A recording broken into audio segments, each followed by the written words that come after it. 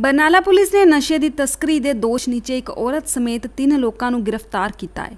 Police ਮੁਤਾਬਿਕ ਬਰਨਾਲਾ ਦੇ industrial area ਵਿੱਚ ਨਾਕੇ ਦੌਰਾਨ ਪੁਲਿਸ ਦੇ ਵੱਲੋਂ ਦੋ ਟੂ ਵੀਲਰ ਵਾਹਨਾਂ ਨੂੰ ਰੋਕਿਆ ਗਿਆ ਅਤੇ ਤਲਾਸ਼ੀ ਦੌਰਾਨ ਉਹਨਾਂ ਦੇ ਕੋਲੋਂ ਦੀ 11000 ਨਸ਼ੀਲੀਆਂ ਗੋਲੀਆਂ ਅਤੇ 350 ਨਸ਼ੀਲੀਆਂ ਸ਼ੀਸ਼ੀਆਂ ਬਰਾਮਦ ਹੋਈਆਂ।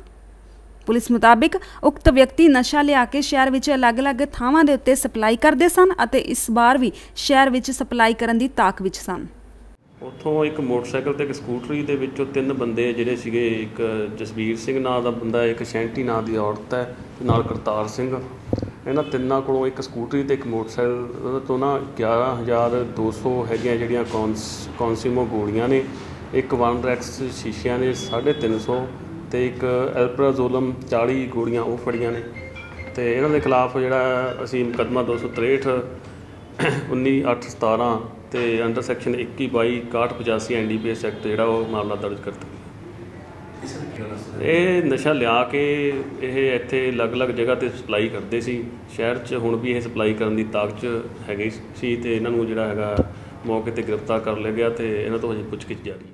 ਬਰਨਾਲਾ ਤੋਂ ਪ੍ਰਵੀਨ ਰਿਸ਼ੀ ਦੀ ਰਿਪੋਰਟ ਚੈਨਲ 2